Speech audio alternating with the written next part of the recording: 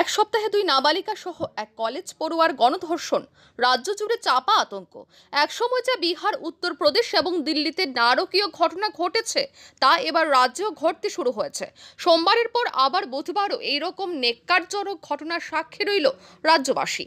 সম্প্রতি আগরতলার উপকণ্ঠে কলেজ ছাত্রীকে ধর্ষণের রেশ কাটতে না কাটতেই আবারও বৃহস্পতিবার রাতে গোমতী জেলার অন্তর্গত ওমপি এলাকার দুই নাবালিকা মেয়েকে গণধর্ষণ অভিযোগ। ধর্ষিতা দুই নাবালিকা মেয়ে পুলিশকে ঘটনাটি জানায় এবং অল্প সময়ের মধ্যে একজন অভিযুক্তকে গ্রেপ্তার করা হয়। পুলিশ সূত্রে জানা গিয়েছে, পলাতক আট অভিযুক্তের মধ্যে তিনজনই নাবালক। যত দ্রুত সম্ভব অভিযুক্তদের ধরতে অভিযান শুরু করেছে পুলিশ। রাজ্যে একের পর এক এই রকমের ঘটনায় আতঙ্কিত রাজ্যের মানুষ উঁকি দিচ্ছে একাধিক প্রশ্নের। প্রশ্ন উঠছে মেয়েদের নিরাপত্তা নিয়ে। সূত্রের খবর, মেয়ে দুজনই এই অপরাধে জড়িত দুই ব্যক্তিকে চিনত তারা ফেসবুক বন্ধু ছিল। একই জেলার নতুন বাজার এলাকার বাসিন্দা।